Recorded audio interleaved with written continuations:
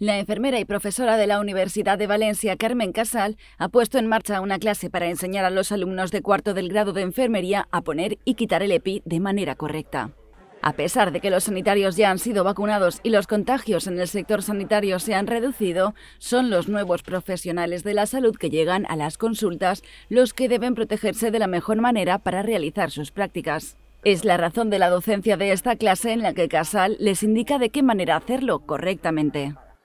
Empezamos por el mono, las manos lavadas previamente. Hemos elegido la talla adecuada, que eso es importante para estar cómodos. Nos volvemos a lavar las manos y ahora ya nos ponemos el primer par de guantes. Es importante tener dos pares de guantes, unos que sean cortos para estar por dentro del equipo de protección individual y los otros para cerrar y tapar las mangas. Ahora nos ponemos la mascarilla quirúrgica encima de la mascarilla FFP2, la capucha. Y ahora se tiene que poner las gafas. Sari, tú tienes que vigilar si se le queda algún hueco. Pablo tiene que tener la conciencia de que está bien protegido. Le pegas una revisada, muy bien. Vamos a, a trabajar con el paciente. El uso del equipo de protección individual no debe superar las dos horas seguidas de uso y debe retirarse meticulosamente si se ha estado expuesto a aerosoles. Esta sería la manera correcta de proceder.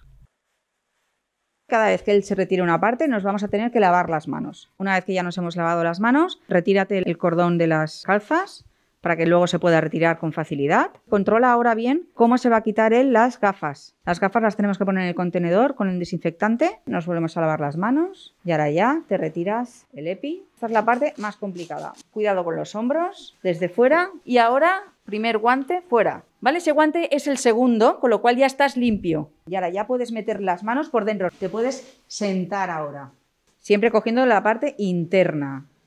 Otra vez alcohol ya nos quitamos la mascarilla quirúrgica, la tiramos. Nos dejamos la FP2 por el riesgo y otra de las manos y ya por último los guantes. Y muy bien, perfecto. En ambos casos, tanto puesta como retirada, el proceso debe estar controlado por un compañero o compañera de enfermería que asegure la total protección del profesional que vaya a trabajar en entornos infecciosos.